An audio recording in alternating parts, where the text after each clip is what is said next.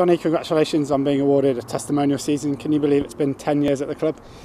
Uh, not quite. No, it's it's been a bit of a whirlwind to be honest. Um, you know, it's, it's, only yesterday it feels like um, I was an 18-year-old coming out of school and and being chucked in at the deep end uh, here at Sixways. But I've enjoyed you know every moment of it. There's been some there's been some highs, there's been some lows, but uh, I wouldn't change anything.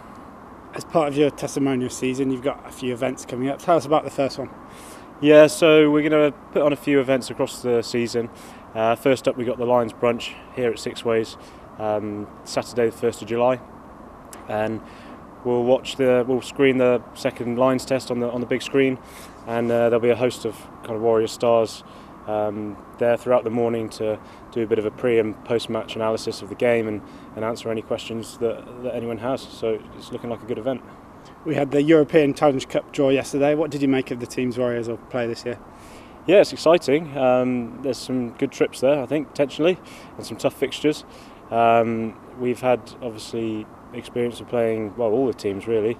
Um, Brive last year were were tough opponents, and I think we were unfortunate not to get a victory when we travelled away uh, to Brive at the end of January. Um, we've come across before. Um, again, tough, tough French opposition there. They'll be they'll be tough.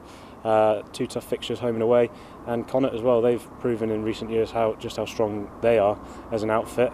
And um, I remember going and playing them at their their ground quite a few years ago, and and there's probably no tougher. you know that's probably a really tough one of the toughest trips in rugby. So um, not an easy challenge, but uh, we'll look forward to it nonetheless.